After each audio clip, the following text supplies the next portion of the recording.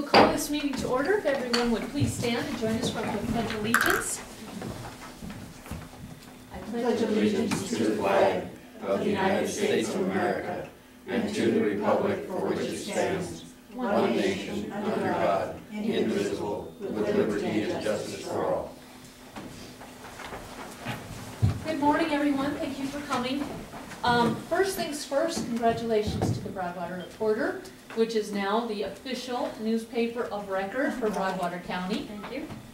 So hopefully you'll have many, many years of a good, strong future. And it's a good newspaper. Yes, it is. Absolutely. Uh, It is March 24th, Monday. This is the Broadwater County Commissioners meeting. And uh, just some quick reminders. Uh, We do follow Robert's Rules of Order. Uh, The purpose of this policy is to open up our public meetings to all Broadwater County citizens. Meetings are recorded and are on YouTube, and so please state your full name for the record. Any separate conversations, please take out into the hall. Outbursts will not be tolerated. Uh, Everyone will be allotted at least three minutes to speak for public comment. And uh, all comments should be directed to the board chair. So with that, is there any public comment? Madam Chair, Tim Ravndal. I attended uh, a couple meetings here, um, and I just want to make sure that the commission is aware of a couple things happening. Um, One, Montana Fish, Wildlife and Parks is setting quotas for lions, and in Region 3 here, we need to be on top of that as we did last year. Uh, I attended a meeting where I recommended an increase in quotas in 39091 uh, because of the higher population of lions that still um, lies in that area. I'd urge the commission to send a letter to Fish, Wildlife and Parks supporting that. Um, And we got a, basically, we're at the breaking level of landowner tolerance of lions in that area, um, specifically between Duck Creek and Deep Creek. And we need to make sure that we send a message to Fish, Wildlife and Parks to get that quota raised on females so that we can get that population back under control. Um, We have Adam Grove from White Sulphur Springs coming in to take over Tom Carlson's place, and uh, he needs to get that message from the commission as well as the Fish, Wildlife and Parks Commission themselves, who are meeting here the 15th of April um, in Miles City. Uh, So if they can get that message from the commission, that would be great in support of that. The other thing that I guess I'd, I'd like to just bring to your attention um, is the Legislative Interim Committee, and this is again a Fish and Wildlife and Parks issue. Heads up, um, $6.25 million increase in Fish, Wildlife and Parks funding is being sought with an increase, actually a new license is going to be developed as recommended by the council to cost the sportsmen and, the- and the hunters, et cetera, more money um, to participate. Uh, I'm just hearing a whole lot of people really not very happy about that. I just wanted to make sure you folks are aware of that. Uh, This new license that they're going to be charging is called a hunting license outside of the conservation license. Um, And again, the idea is to generate six point two five million dollars per year for fish and game. They're out of control, they need to be sent that message. Madam Chair, um, there's other things, but wanted to make sure you were aware of those too. Thank you. Thank you. Any other public comment this morning? Public comment? Public comment. All right. First on the agenda in about 10 minutes is Mike Conkey, so we will do some mail real quick. We have minutes for March 17, 2014. Those were sent out, I believe, last Tuesday.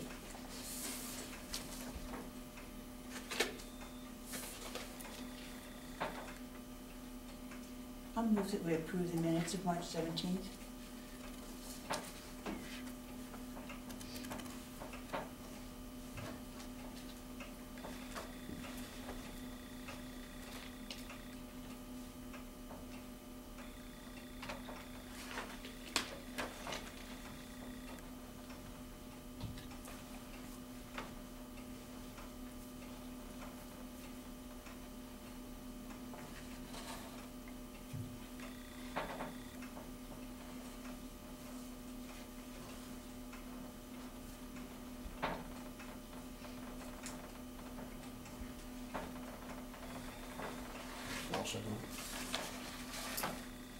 It's been uh, moved and seconded to approve the minutes of March 17, 2014.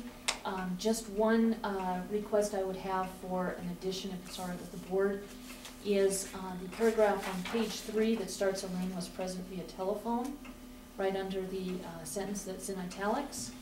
Just a motion passed at the end there, so it's clear. Um, If that is all right with the board. Right there, motion passed. Actually, You with mean that right change from, at is, right. Uh, right, right there. And it would just mirror this paragraph right there. That makes sense. Okay, So is that friendly amendment uh, approved? I'm fine with that. All right, it's been moved and seconded to adopt the minutes with that small addition. All those in favor signify by saying aye. Aye. Aye, motion carries. glad to see you got that change, that wasn't Pat Hooks, Aye. It was a Happy St. Patrick's Day. He is from above. If you could uh, maybe just reprint this later, I'll go ahead and sign it at that time. All right. Um,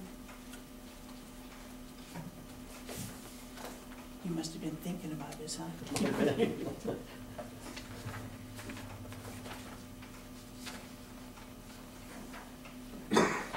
Um, we have a letter from Trudy Southwick, State of Montana, County Broadwater. I, Trudy Southwick, being duly sworn on, on oath, says that she is, and during the time here and then after mentioned, have been the publisher of the Broadwater Reporter, weekly newspaper of general circulation, printed in Cascade County and published in Broadwater, Montana. The Broadwater Reporter has been published continuously at least one year, at least once a week in the county for twelve months, as per MCA eighteen seven four eleven and seven one four one two seven requirement. The Broadwater Reporter circulation for the prior twelve months average eight fifty-five per week, net distribution, paid and free copies, eight ninety-eight per week, paid subscriptions mailed six seventy-three, free subscriptions mailed each week sixteen, subscriptions hand-delivered fourteen, and free papers to advertisers of proof of ad mailed average five per week. So, again, officially, we have a newspaper of record for Broadwater County. Congratulations, Judy. You've done a great job.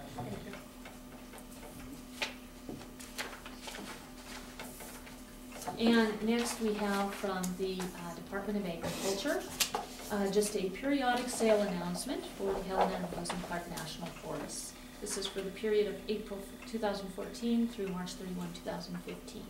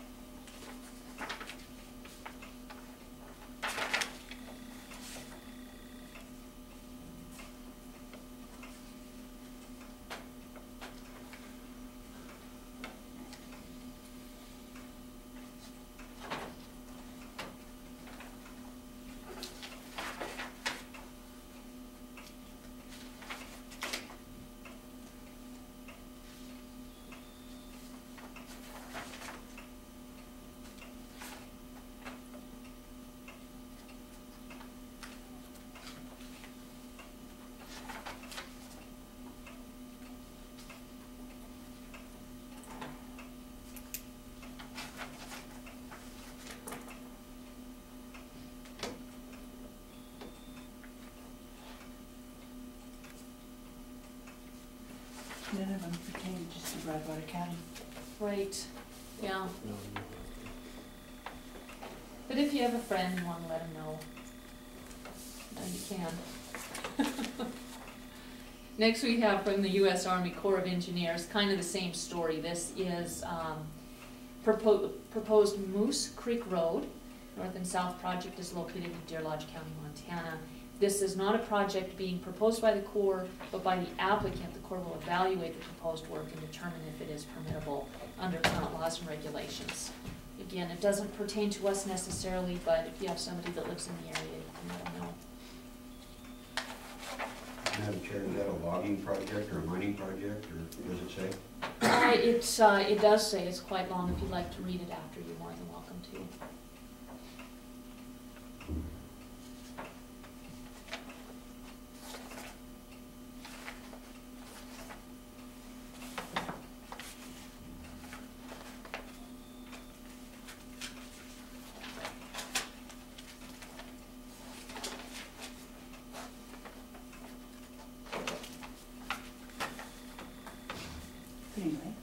Yeah, yeah.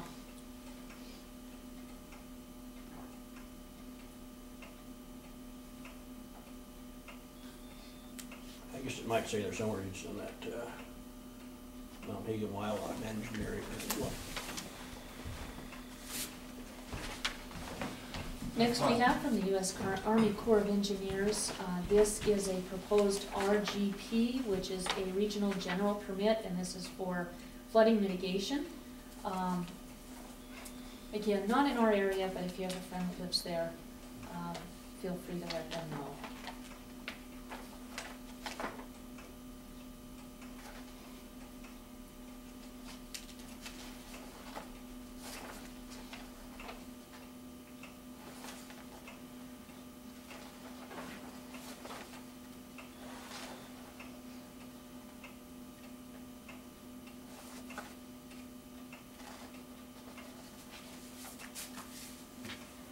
Next, If we area.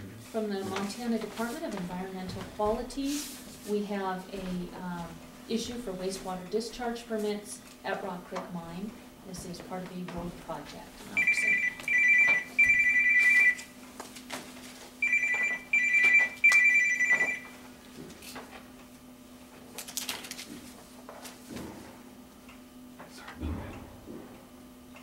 Is that the Rocky Mountain, Missoula? It's got other ones Hungry Horse. um, Applegate Meadows subdivision in Helena, in town of Culbertson.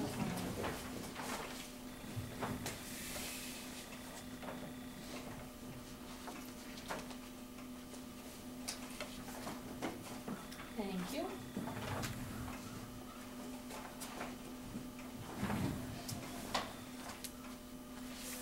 We are one minute early, so we'll handle an easy piece of signature mail. This is a letter from a citizen, Don Reynolds. Hello, Commissioners, Obert, Graveley, and Solivka. Dated March 16, 2014. I recently sent all of you emails regarding the possibility of holding a 50-50 raffle to benefit the Heritage Community Gardens. Perhaps I went about it the wrong way because I never got any response. We are having a Broadwater County Garden Walk, backyards of Broadwater, and thought it would be fun and profitable to include a 50-50 raffle, raffle. I checked with Montana Department of Revenue, and they said there are not any restrictions, go for it. But their website did state that approval was needed for the county commissioners, and the record of income has to be turned in within thirty days. Would this be something I can proceed with? I did look for the emails, I didn't see it in either the commissioners' emails or any of, uh, of mine, I don't know if you guys got it. But regardless, that's okay. Um, this is an easy, an easy thing we've done in the past. It's, um, one of those laws that, um, one of our legislators could look at to kind of clean up. For a 50-50 raffle, apparently you have to get approval from the county. We have 50-50 raffles all the time. Um, we've done this with the fishtail in the past for the, um, motorcycle raffle that they do. It's very easy, it's very simple, we just have to give our approval. She'll send us a copy of the, um, budgeting, how much was made, how much was spent, that kind of thing. We just need to put a, um, okay in the minutes for her to proceed. That was me. I'll make a motion that we approve that. Second. It's been moved and seconded to OK Don Reynolds to conduct a 50-50 raffle for the benefit of Heritage Community Gardens. All those in favor of the motion signify by saying aye. Aye. Aye, motion carries. All right, I will send her an email when we are done. And it's ten fifteen. It is time for Mike Conkey, DES, update Homeland Security Grant Proposal. Good morning, Mr. Conkey. Good morning, Madam Chairman. Morning, Commissioners, sir.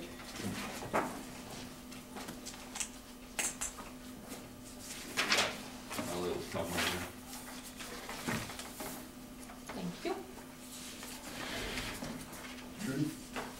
Thank you.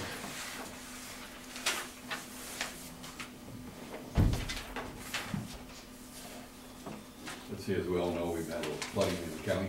I had some- a poster out there and one right here with photographs of the flood. It says the date the picture was taken as well as the location and the direction we're looking. Most of those were the county road damage. uh, done after the flood.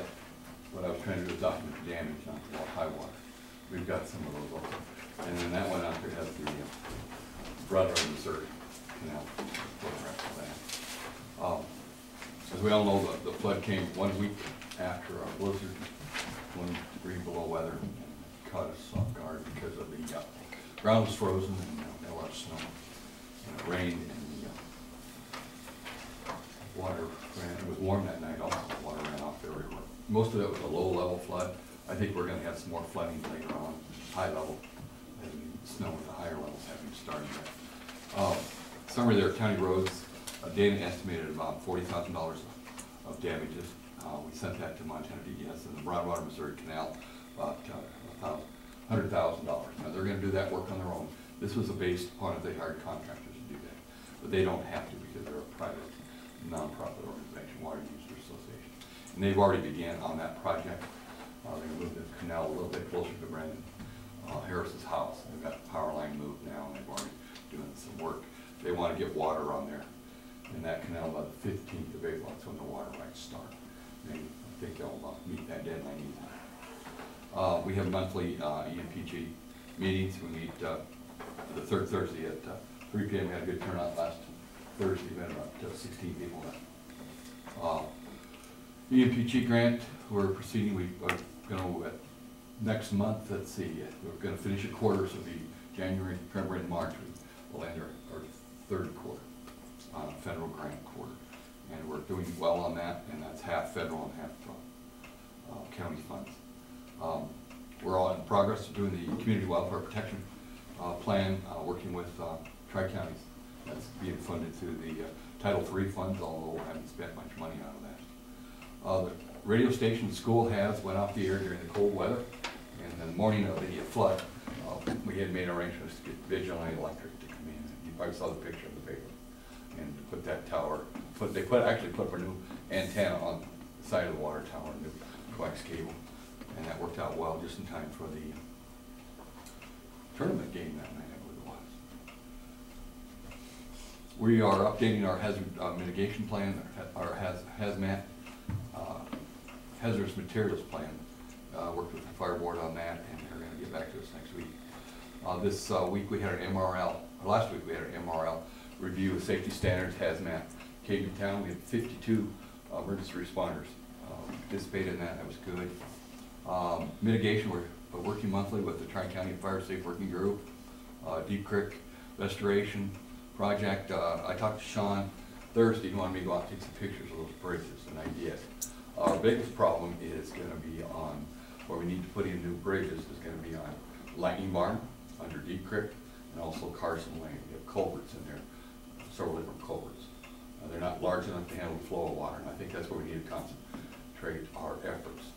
Uh, Lower Deep Creek Road, uh, just past the Broadwater, Missouri, it's going to the east, it has a nice bridge put in several years ago. And it's about twenty feet wide, it's concrete, big concrete, um, beams across there. And there's another one there by Wickens, you turn and head to the, to the north. That's in good shape, I went up to, uh, uh, Clopton Lane, they put that a new bridge in several years ago, it's very high, very wide. And the only problem we have is on the south, on the east side, south of the creek, creek comes around there on, that's, uh, uh, Ray and Betty Horn's property. Needs to be some more riprap in that area, some big boulders and stuff to keep that from washing. Tried to wash out in the two thousand eleven, uh, flood. Then I went on up and took a look at the, uh, North Fork Bridge, and that's a bridge that's really low, and it's always been a problem there. And I, the way I understand, Sean said the highway department is in the process of redesigning that, actually do the, the construction pay for that bridge. And then the other reach of the river, of the creek, excuse me, the reach goes down the reach fifteen. They take creeks and divide them in different reaches. They, that's kind of a technical term. From the North Fork Bridge on down through Terry Frost, Carlson's, and Johnson's used to live there, and down there goes underneath the river. I mean, excuse me, under the highway. That part there, they want to do some work on. Watch, it's getting actually quite deep. There, there is a dike along there where the old Pavilion used to be located in that area. Those that are ancient, that's area, know what we're talking about. Uh, They're below the bar, and they need to rip out that. Part of that dike, probably half of it's been washed away. Those are the two, three areas that I think, that, you know, we should focus our concentration on. Um,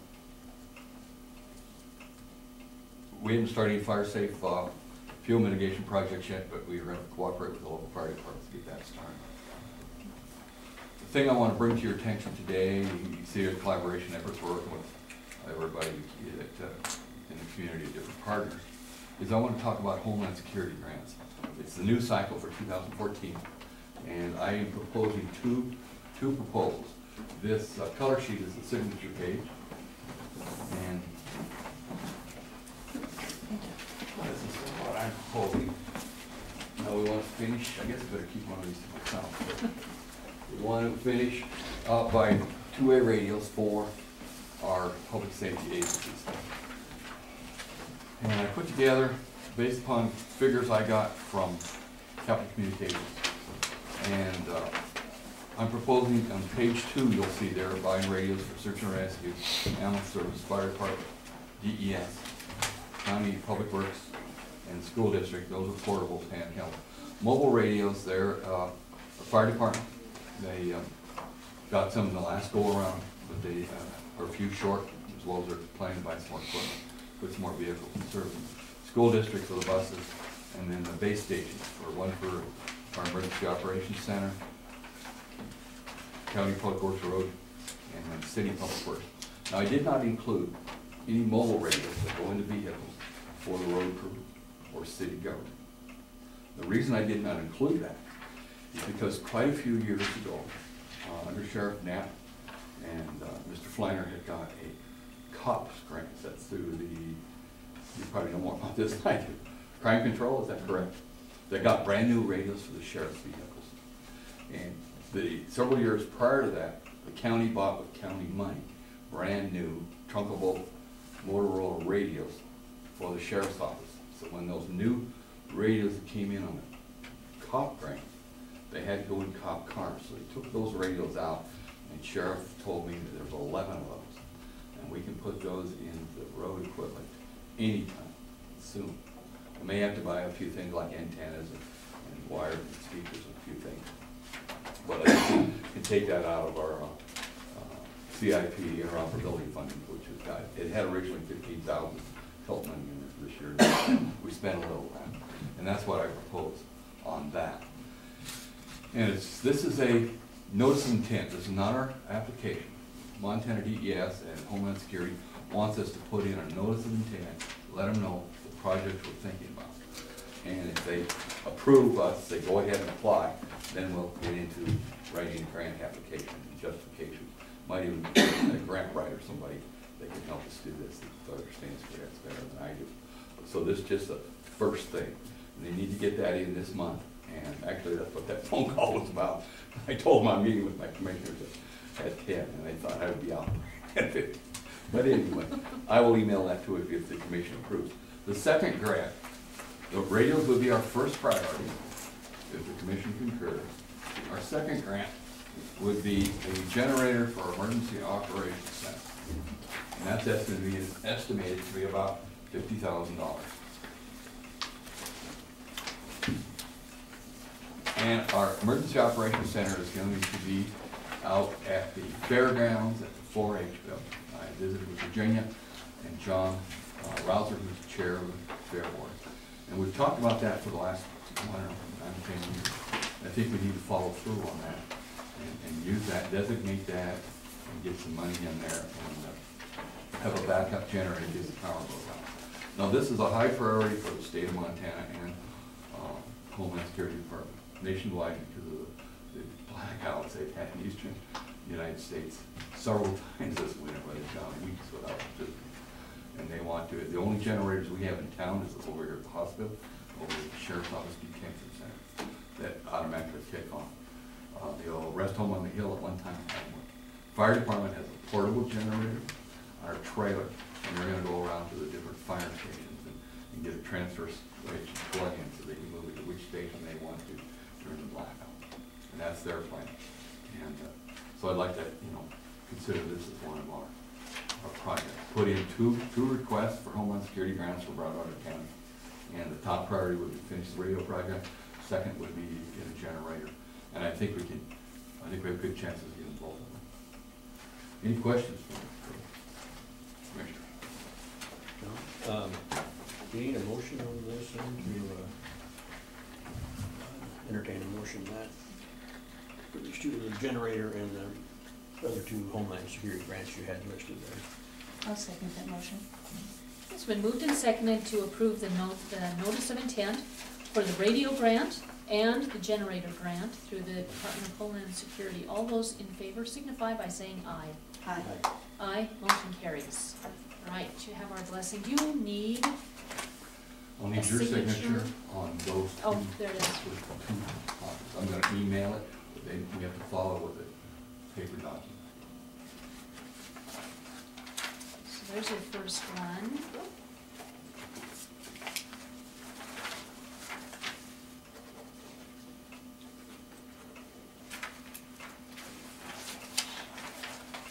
And there's your second one.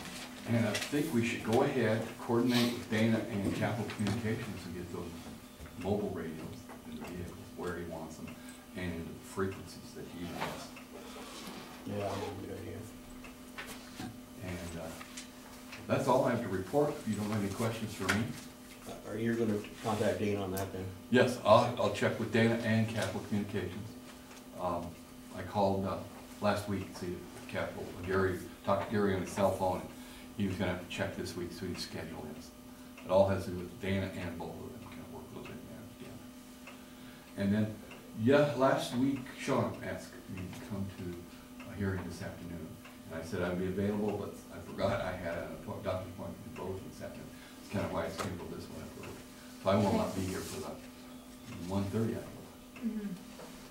Mm-hmm. Any questions for me, Frank? Um, no, except, uh, Bill Doody. Did you talk to him about that? I did. I talked to Bill Doody, uh, that's the lower Deep Creek drainage canal, and it's full of tumbleweeds. He says that I also talked to a couple other people that are familiar with that.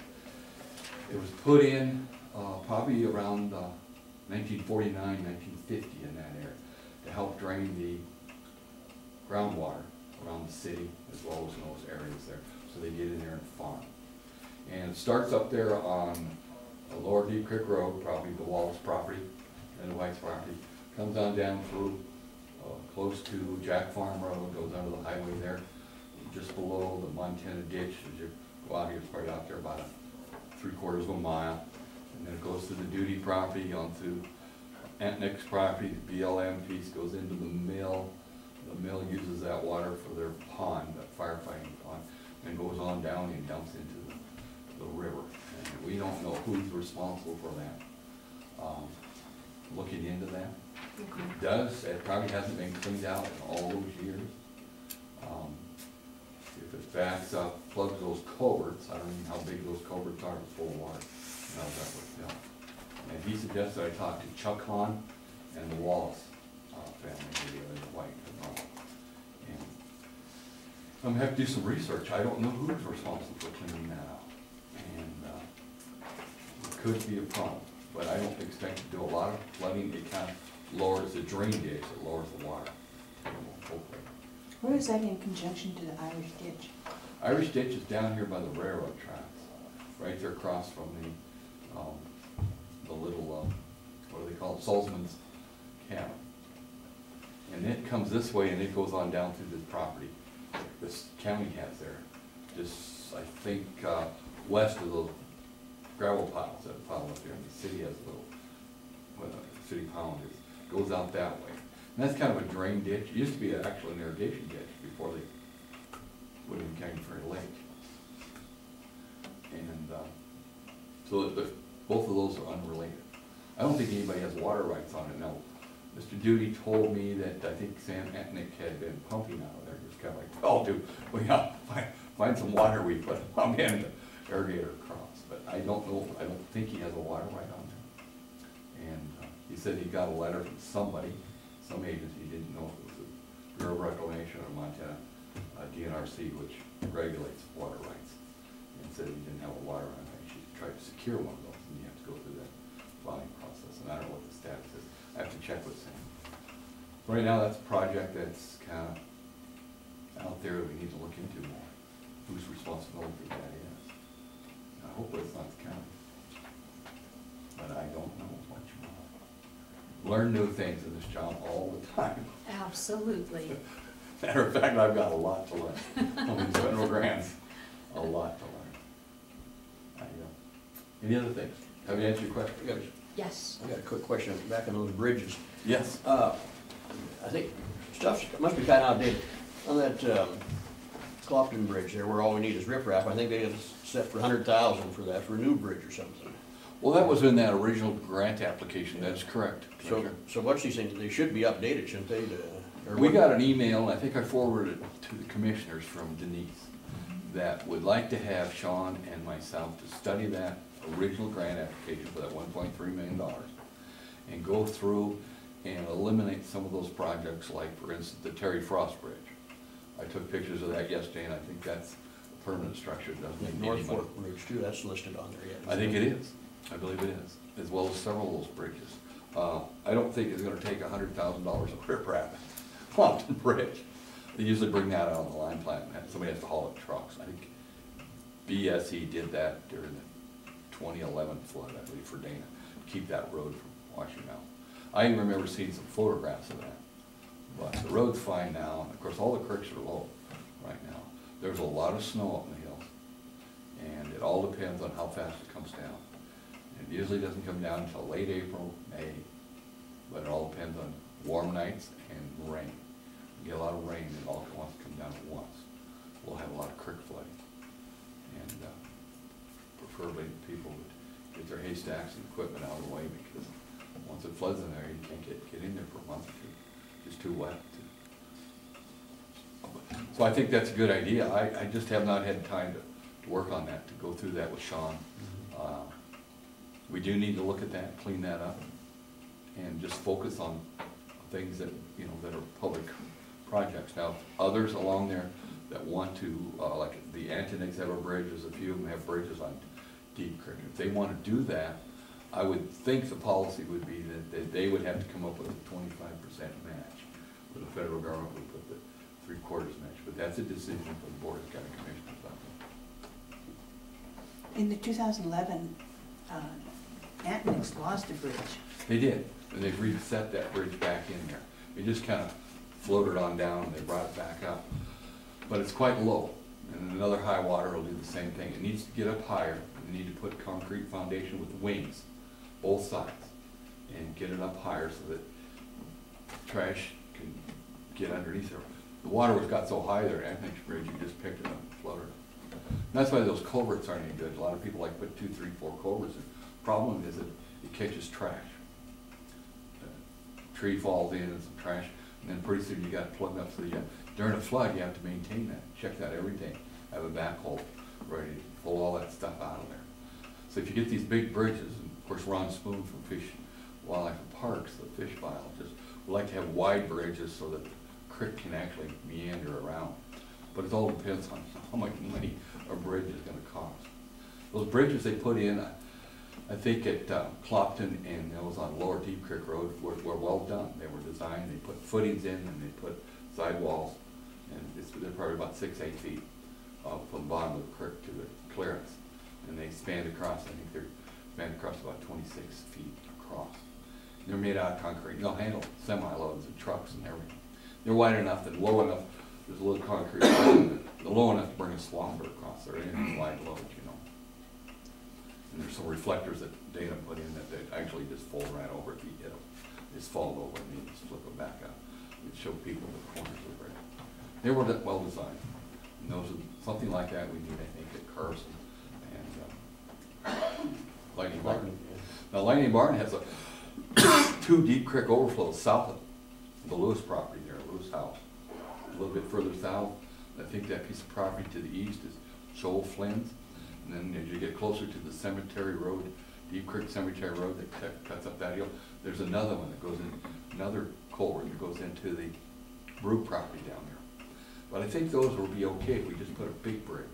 I think it gets backed up there on the road, and the road backs it up so much it gets into, um, Joel Flynn's field, and then it runs on down, and then in across.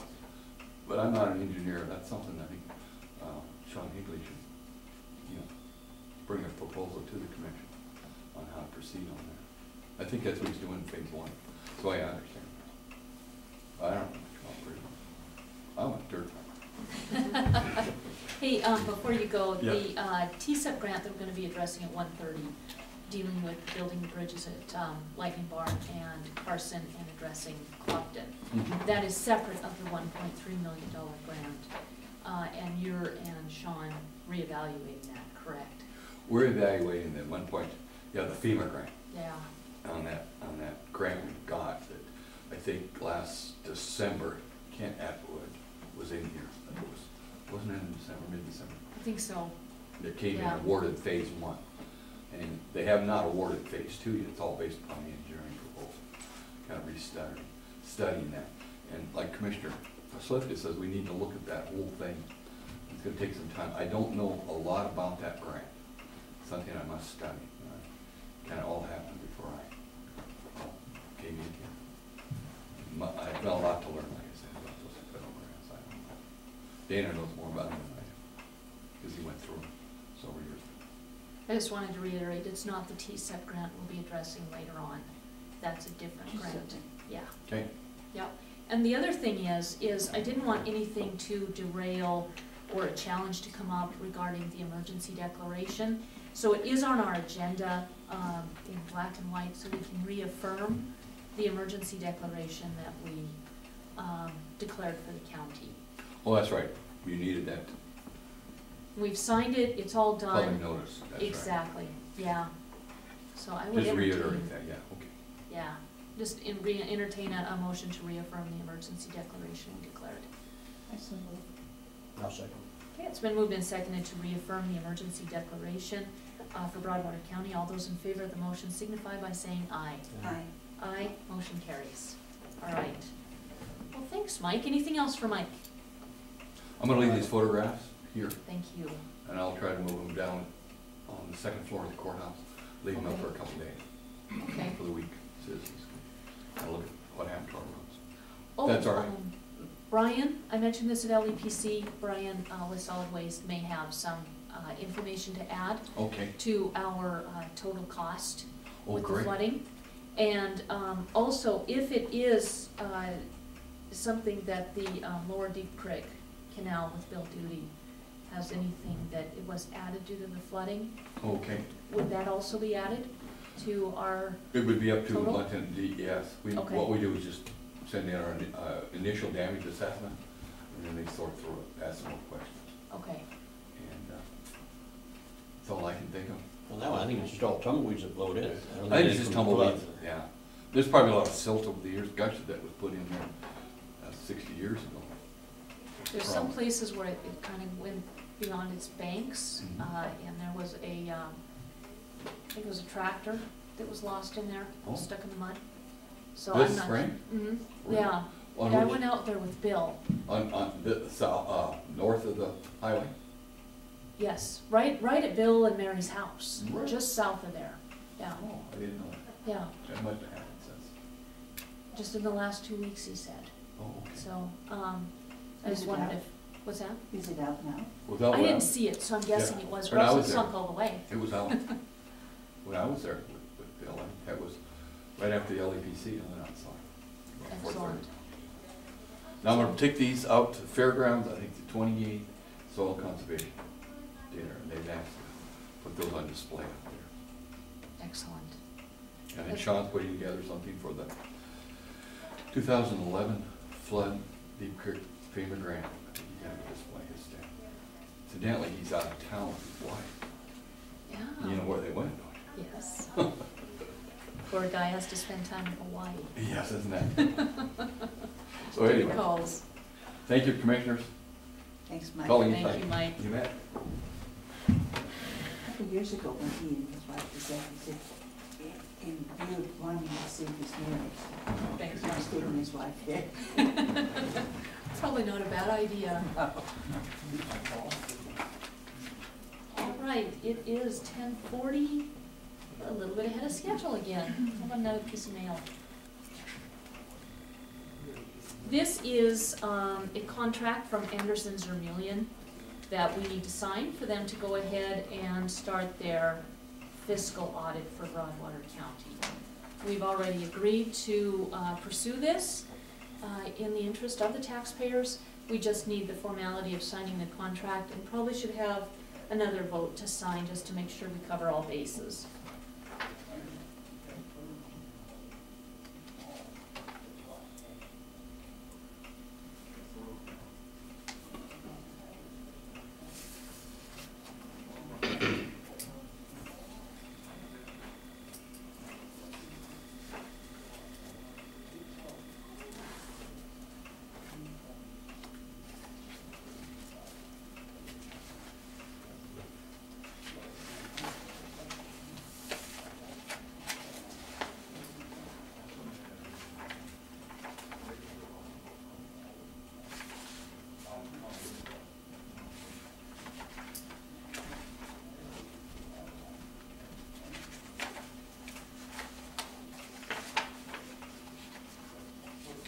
We had already voted on this, had we not? We have, yeah.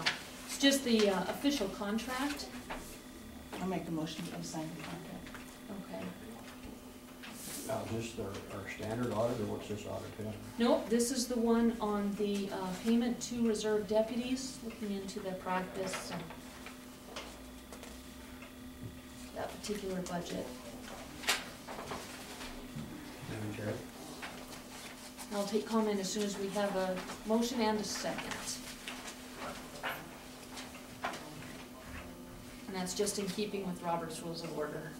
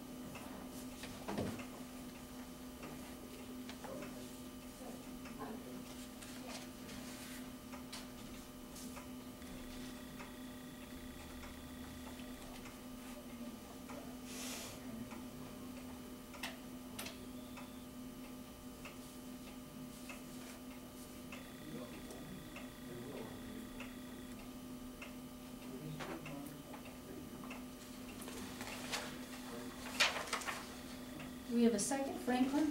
I don't believe I seconded the first time around, so I'm going again. All right, I will second the motion. Um, Is there any discussion, Tim? Uh, Just, just a real quick question, do, do you have a, in the contract a cost of what this audit's gonna cost? Not at this point, no. It'll be an hourly rate that we'll pay, and it'll depend on what they find. So at this point, it's uh, preliminary, we don't have any kind of a cost. Thank. Hundred ninety an hour. Yes, Trudy? Trudy Southwick, um, they're gonna do a fiscal audit, and is that going to take them further into the fraud? Because at one time, isn't this the one they said they, that it needed more than the fiscal audit, that it needed to go to their fraud department for fraud investigation? There hasn't been any fraud determined, and that's what the fiscal audit is for. If they determine from the fiscal audit it needs to take another step, then yes, they will do that, and that is the reason for the cost, is they do have that department engaged in this. So there is not a fraud uh, investigation, there's not been fraud determined. This is the fiscal audit to find out what the exact facts are. Thank you. You bet. Any other questions? All right. Um, it has been moved and seconded to sign the contract with Anderson ZurMuehlen for a fiscal audit. All those in favor signify by saying aye. Aye. Aye. Opposed? Abstain. Um, and as far as that goes, um, per Robert's Rules of Order, when you abstain, you do need to declare a reason that you are not voting, that you are abstaining from the vote. What would be your reason, Franklin? Now, there's a lot of reasons I can list them all, I guess. One thing here, about two weeks ago, all you could talk about was a fraud investigation. And as far as, uh, I, don't know what all, they you got an audit there. I mean, everything's on, uh, public record. And you're abstaining from the vote for what reason? Put down whatever you want, I guess. Excuse me? Never mind.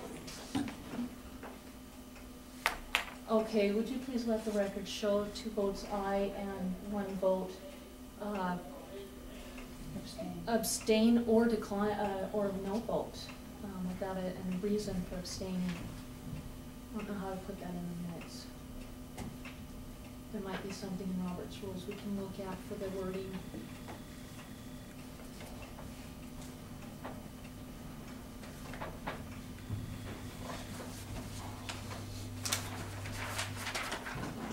Right, ten forty-five, Doug Ellis, right on time. Morning, Doug. Treasurer, taxes on Goose Bay Marina.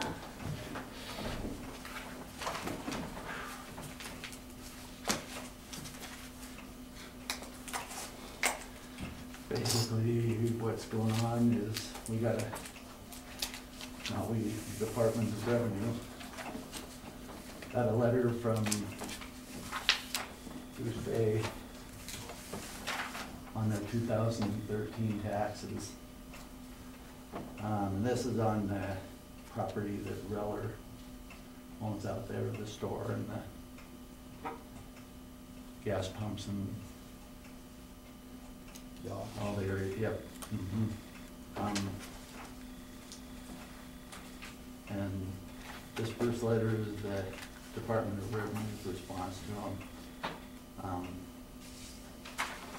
and basically, the Department of Revenue isn't, isn't, uh, doesn't wanna do anything and, and Goose Bay doesn't feel that they should have to pay their taxes because of all the changes that are going on, they basically got them um, you know, to where most of their paying customers had to be out of there, so they weren't, they weren't making the money that they were making, they were just there kinda getting things straightened out To get moved, to, to get their own stuff moved out there, stuff Right. like that. yep. mhm. So, but the Department of Revenue, um, doesn't wanna do anything. I talked to Tracy from Department of Revenue, and she said she thought they, they, uh, probably should be forgiving the taxes, but it's not her call, it's, uh, her superiors, and they didn't, they're, they're feeling whether they were still there on the premises, they should pay the taxes. Um, and as far as how, I guess we would have to look at it, you know, if they, if they just flat decide they don't wanna pay these taxes, um, about the only, Nothing to regroup there. Yeah, there, yeah, there, there's, there would be no tax deed, I mean, the property's BOR property. not theirs anymore. Um, you know, the only thing you could do would be, uh, attach some kind of lien to their store in town, which would probably cause a lot of hurt feelings and, and in my mind, it's kind of it's bad appropriate. business. I mean, they served the community out there for years and years and did a, and did a good job, and, and it wasn't their fault that the state, um, There's a bad shut that BOR. marina down. Um, You know, it's just, in my mind, it just seems like it's, uh, the taxes for the year were seventeen hundred and twenty-seven dollars. You know, and they were, yeah, they were still out there for part of that year, but what, you know, I mean, from January to probably May, all of the people that would normally have been out there were gone. Mhm. Um, you know, their revenue, their revenue source was gone until they might have picked up a little bit in the summer, but not nearly what they normally get, I'm sure. Um, Well, that, that, if you need, I'd make a motion that those be forgiven with Goose Bay. On the, on what you're just talking, listed right there. I would second that motion. Yeah, you know, um, they, uh, these contracts are, are a different monster than a regular business. They're providing a service on behalf of BOR. Um, they don't own anything that's put out there per the contract. It goes directly to BOR. Um, and then with everything that happened, they were hamstrung from being able to really conduct business out there for that last year. I'm, um, surprised and disappointed in Department of Revenue, and not our folks here in the courthouse again. They just take their marching orders and do as they're told. Yeah. But I, I do think that this should have been looked at a little bit more, um, based on the facts. Um, So, yeah, I, I agree. Any more further discussion before we take the vote? Where are they at now? Where are they, I think, I think they're living right here in town now. Well, no, They they live cost. south of the bridge. That's not the cost, I think, yeah, that's where they're living at. Yeah, everything is, uh, mo- just about everything's gone out there. The store's still sitting there and a few things. But BOR really rooked them, I mean, it was so much stuff. yeah. And up there where they're grading and blading stuff around there, I guess now they're gonna charge them for that. I don't see how they possibly can, but Mm. Why would they charge them? I don't know, that's what, uh, uh, Jerry told me this a while back. Mm. I wonder if they're kind of treating it like they do a It's, mining claim. where you yeah, have kinda like, a- I'm assuming that's how they're going back on like on a lease, you know, anything you, like if you lease something from the state, the ground, you put something there, you gotta take it out when the lease is gone, so. uh, I'm assuming that's what they're going by, but, Mm. but I mean, they're, they rooked them on that, you know, that this last couple, three years. Okay, it's been moved and seconded to forgive the taxes for, uh, Rellers regarding Goose Bay. All those in favor of the motion signify by saying aye. I, Aye, motion carries.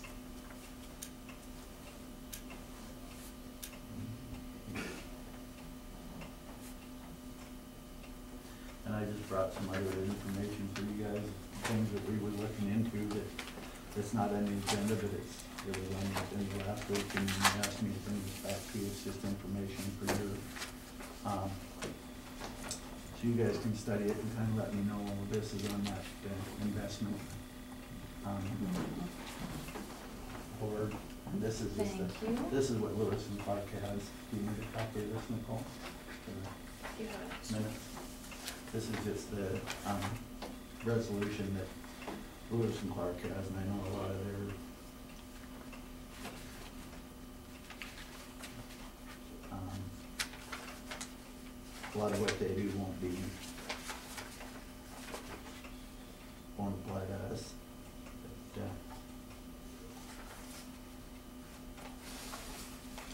just give you something to read at night when you can't sleep.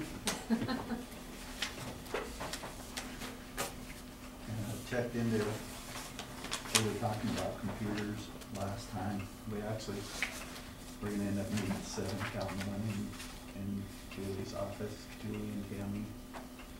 We'll both meet one, and then only five in our office. Um, the mine, the mineral royalty has, uh, five thousand one hundred forty-nine dollars in it. And I just got a quote from Tyler for six computers. That is, um, because Julie doesn't need all of the things we need and, and uh, their quote for six computers was seven thousand,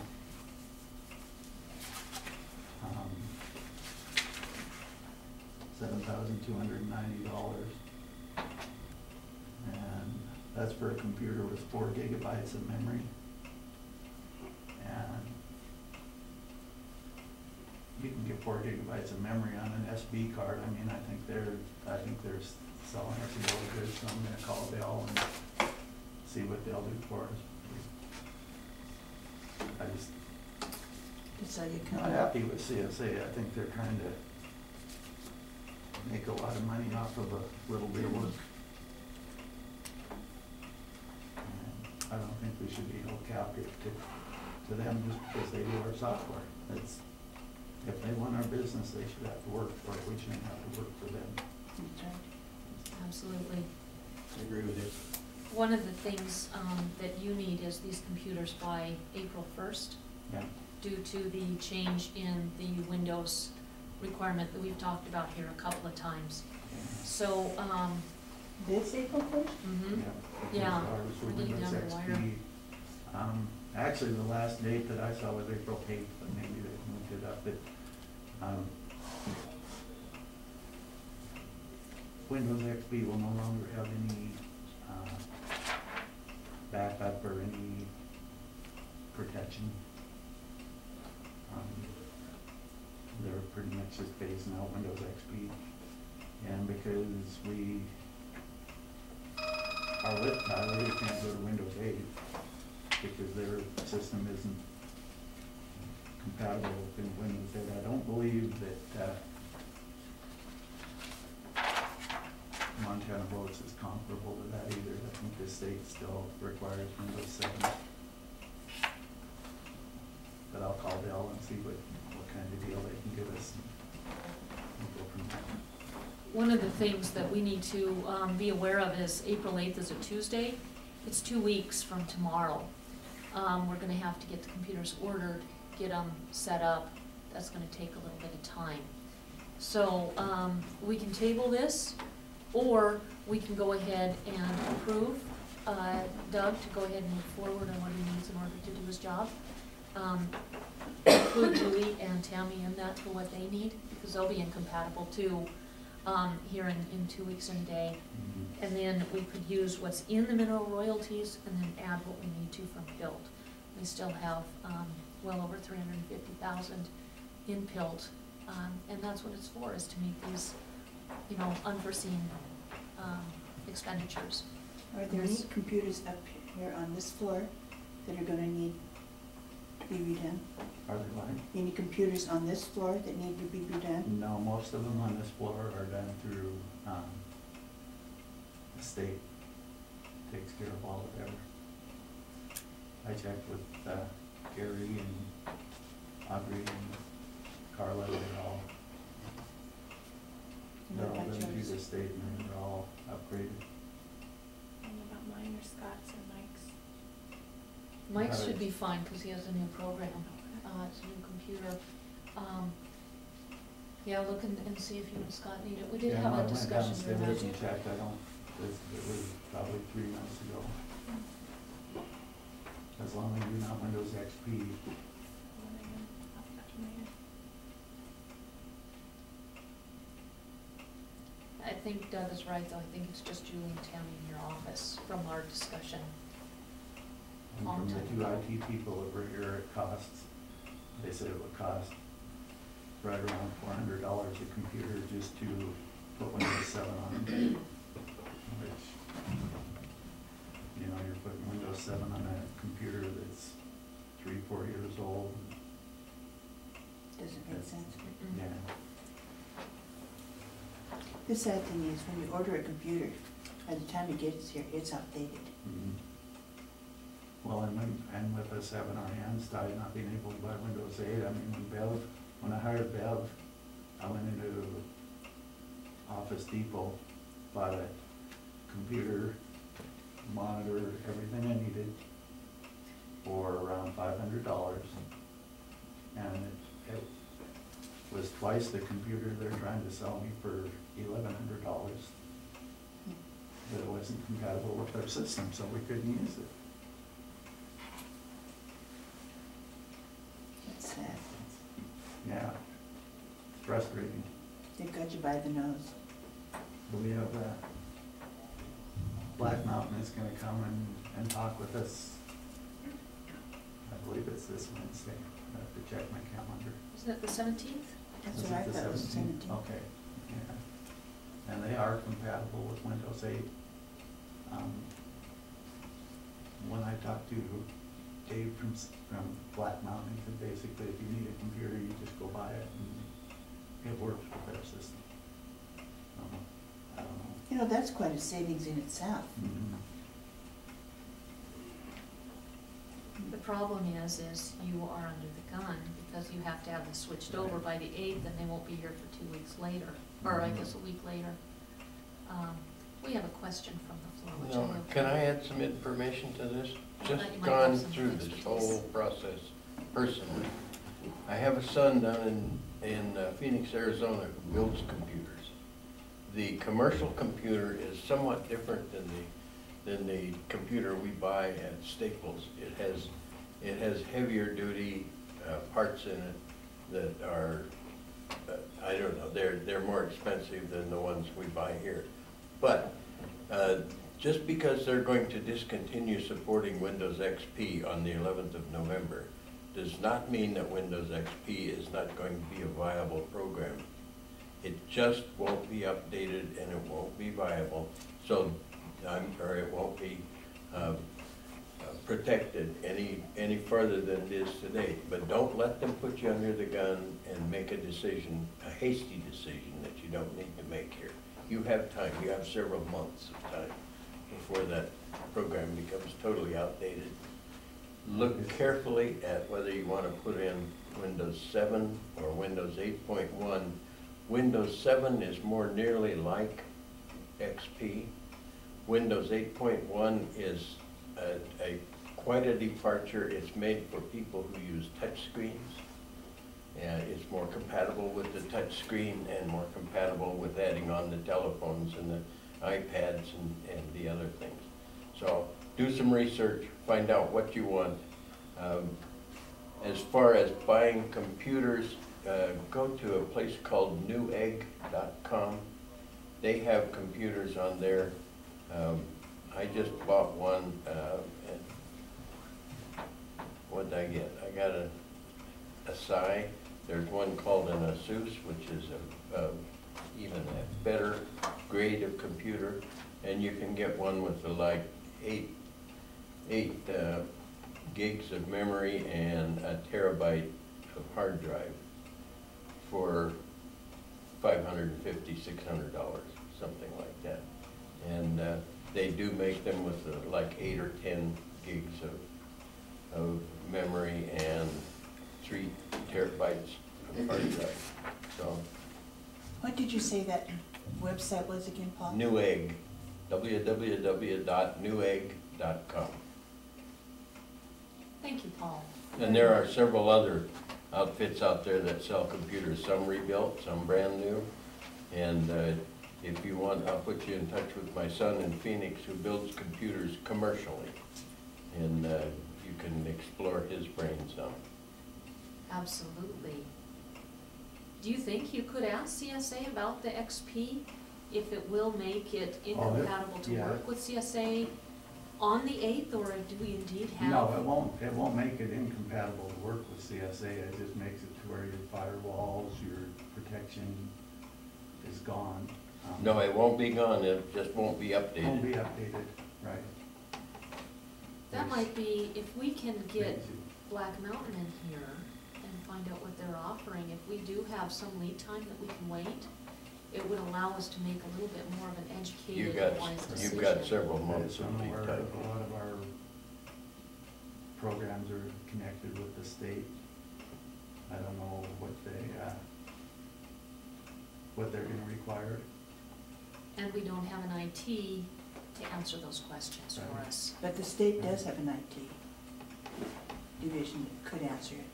Yeah, yeah, I, I think it's well worth getting some of those answers, because Yeah, I we could could check do with my everything in one step. and, uh, The hospital also has an IT and the bank has an IT that they use that probably would be available. They work only on, Moore's- work only on commercial. Yeah, yeah, thank you. Sure, you're welcome. How about we table this until Wednesday? And then that way we, we're gonna meet Wednesday anyway, we can revisit at that time and have a few more details and, and facts. Does that work okay for the board? Fine with that. All right. That's all I have. Did you want me to stick around for the, uh? Um, I, you know, only if you want to. if you need me, if you call me. Okay, that sounds good. I think this is gonna be really fast. Um, thank you, Doug.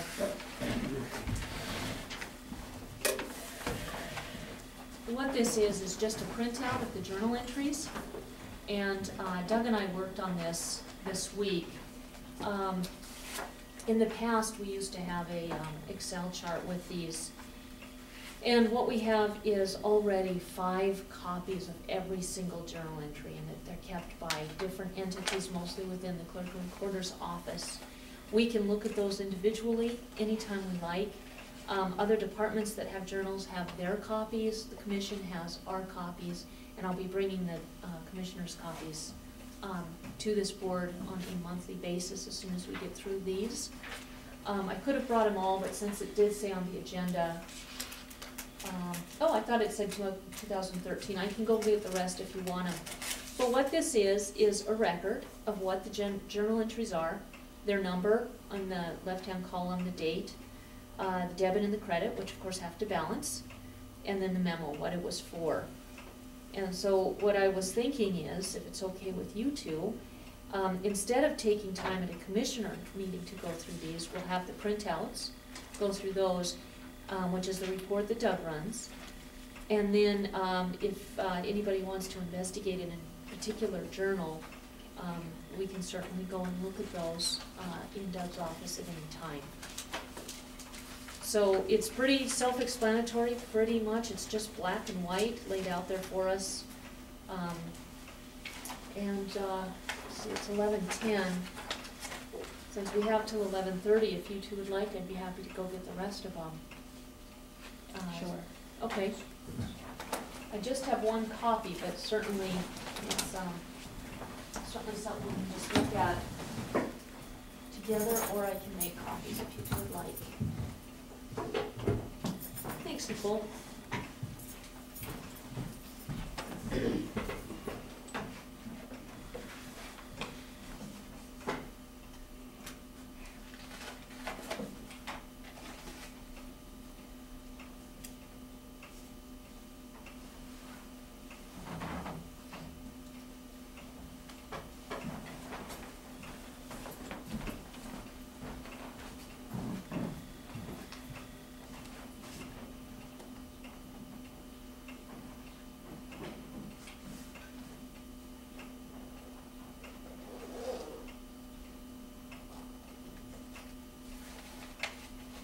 You know, what's that EP posting stand for, EPA stand, is that just a code? Accounts payable Oh, claims.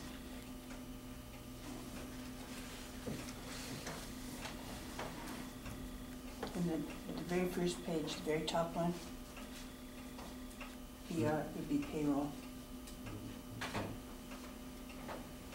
okay.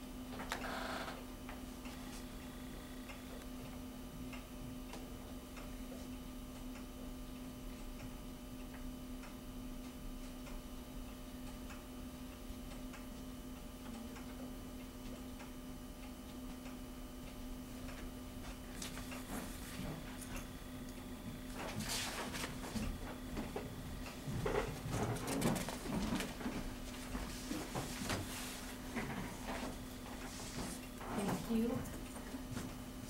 These are for June through February. I've looked at them down in our office. Basically, when the county collects taxes for the school, for the city, for Three Forks. A journal entry is made when that check is sent for the tax we collect on their behalf and then send it to them. So what you wanna be looking at is that there were no checks written to somebody that the county shouldn't be writing checks to. State of Montana Department of Revenue, Gallatin County Treasurer Three Forks, um, Treasurer Accounting Posting, um, employee payroll, that kind of thing, are what you'd expect.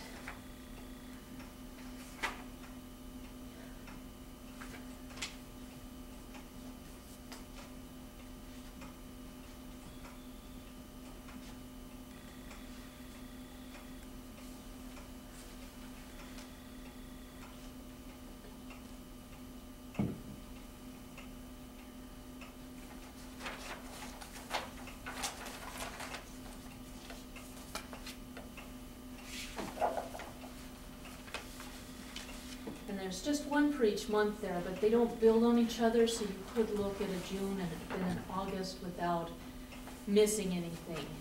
Um, You know, and then come back and look at July. It doesn't have to be done in order, so that's why I didn't bother to take the time right now to make copies.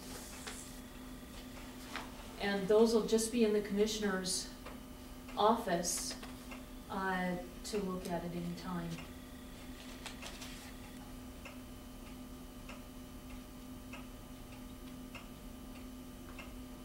The other question, what's that CR interface, what's that? Pardon me? That CR interface, what's that mean? Just curious. Cash revenue. Oh, cash, oh, cash, okay. There's some abbreviation that I'm.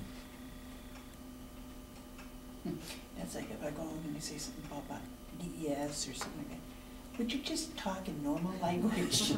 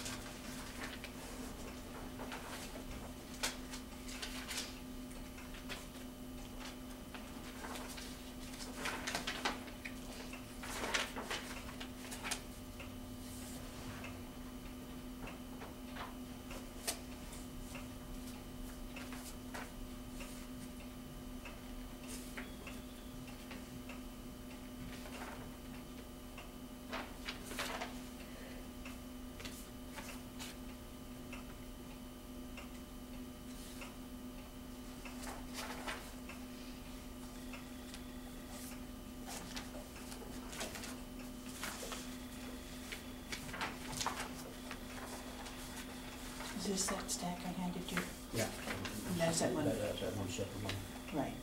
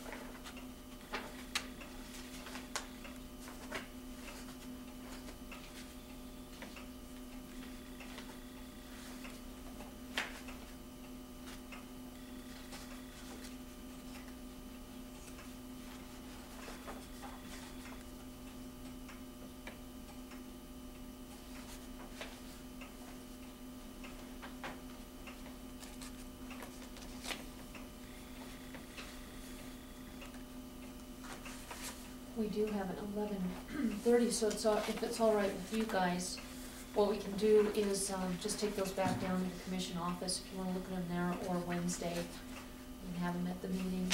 Um, or bring them back next Monday, whatever works for you guys. I'm flexible.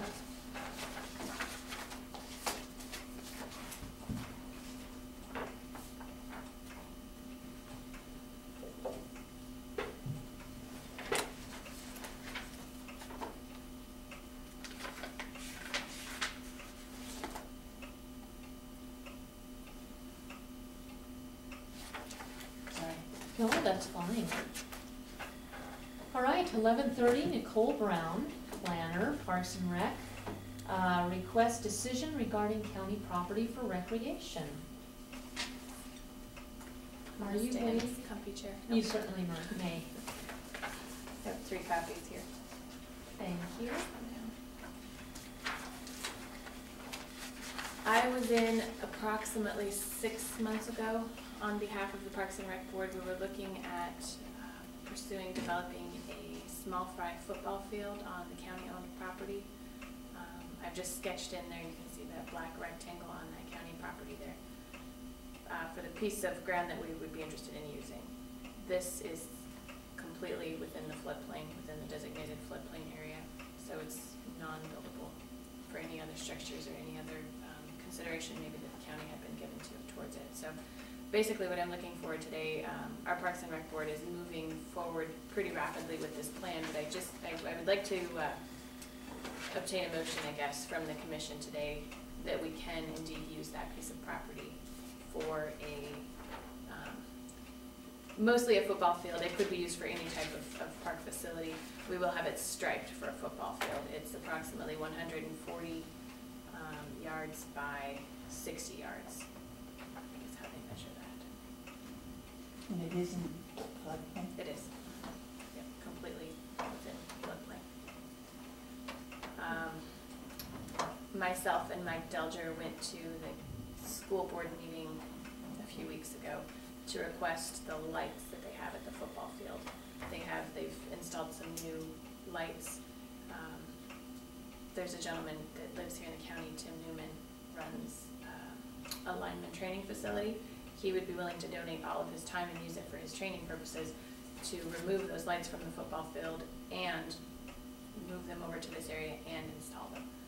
Um, So it just seemed like a good opportunity for the county to capitalize on that. Still waiting to hear back from the facilities department of the school um, as to whether or not we could have those lights, but instead of moving forward without getting a, a firm um, motion from this commissioner, or from this body of commissioners, I just, you know, I wasn't comfortable moving forward with him, you know, removing those lights and installing them just yet, so. Does this fit within the scope of the Parks and Rec Board? Yes, yes, indeed it does, yep, and it would be our very first, uh, project that we'd be tackling, so. All right. Um, My only question, I guess, is, uh, is there gonna be room for, for parking there? You know, with the the county of gravel and everything in there? Um, you know, and that's something that we'd have to talk long-term. I know that there are a couple of discussions going on, if I'm not mistaken, Sean Higley is working on putting together a plan and getting input from, um, different departments that are interested in utilizing this property. Um, one option I've heard is that, you know, they would be removing that, those dirt piles anyway to create a parking area. Um, You know, this, this is all very long-term, and we certainly, you know, this wouldn't be a field that we'd be playing on this year just with the situation with the lights moving forward and then, you know, with all of the other departments coming forward and, you know, getting their input in, um, I thought I would, I would like to get my foot in the door as well. Cause I imagine the road's gonna want to keep most of that there for their use. Uh, Yeah, and I'm not sure what, what, how they would feel about that, about moving those dirt piles. Oh, do they have to move any of those to have this done? No, no, not for the, not for the park itself. Right. not for the park parkland, for parking, um, you know, that would be a whole other discussion. And, uh, you know, we certainly, the, the Parks and Rec Board does want to put together an overall plan, um, you know, for that whole area as to how parking would be utilized. Um, Who would pay the electricity? Would the city pay for the water, um, irrigation? And, you know, we have, we have a laundry list of items that we still have to look at before we can actually build this. Requesting to secure the actual piece of property for the park. Um, you know, and, and soccer, of course, could use it, uh, high school, I know that they're sometimes looking for junior high practice fields because junior high football um, and high school football run the same season. So, you know, this, this wouldn't be exclusively a, a small fry football field. It simply would be striped for football. Soccer fields need a bit larger, I believe it's for the U eighteen division, um, they need a bit larger. But we don't want to, um, bump into any other, any other department's use of that property, so, um, we of have to keep it at, at a manageable size. My only request would be that you continue to be engaged with the group that's working with Sean Higley on this, so that everybody's on the same page.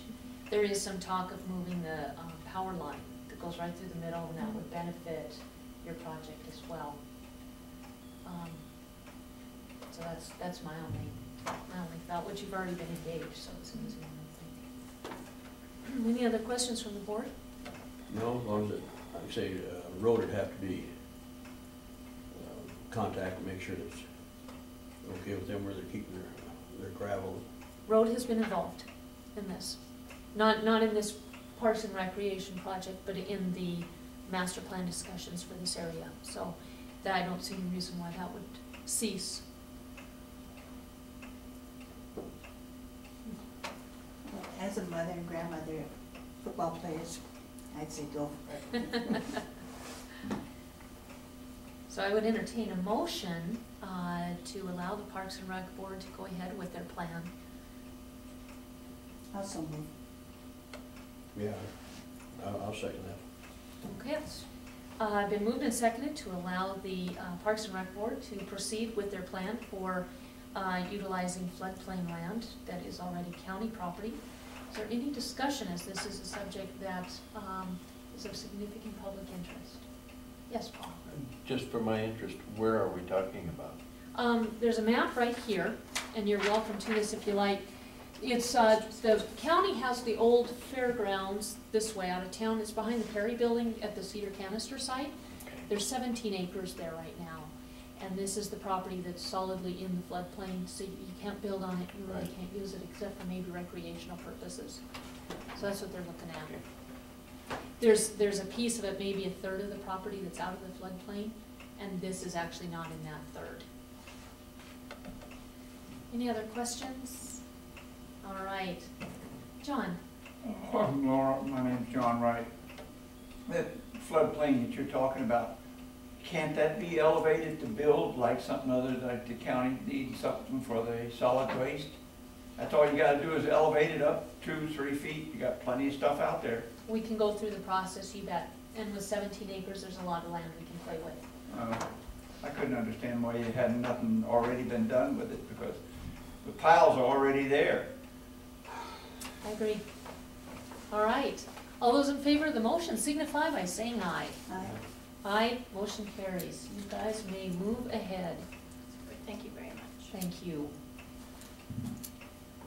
All right, we're a little bit ahead of schedule. Go back to some mail until we